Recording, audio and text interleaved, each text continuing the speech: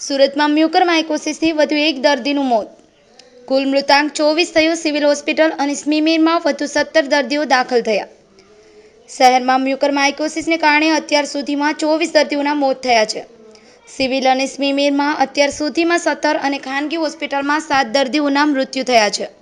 શનિવારે સિવિલ અને સ્મીમેર હોસ્પિટલમાં મ્યુકર માઇકોસિસના નવા સત્તર દર્દી દાખલ કરવામાં આવ્યા હતા.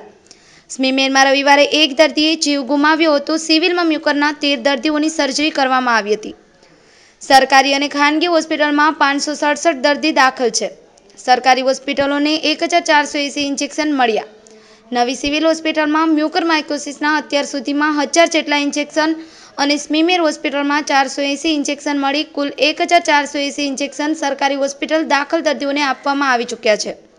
હાલ નવી સિવિલ હોસ્પિટલમાં મ્યુકરમાઇકોસિસના ઇન્જેક્શનની અછત સર્જાઈ રહી છે. દાખલ દર્દીઓની જરૂર કરતાં ઓછા ઇન્જેક્શન મળી રહ્યા હોવાથી દર્દીઓ તેમજ તેમના સગાઓને મુશ્કેલી પડી રહી છે. પાંચસોની માંગ સાથે છ્યાસી ઇન્જેક્શન ફાળવ્યા. સ્મીમેરમાં રવિવારે સત્તર ખાનગી હોસ્પિટલને મ્યુકરમાઇકોસિસના છ્યાસી જેટલા ઇન્જેક્શન આપવામાં આવ્યા હતા.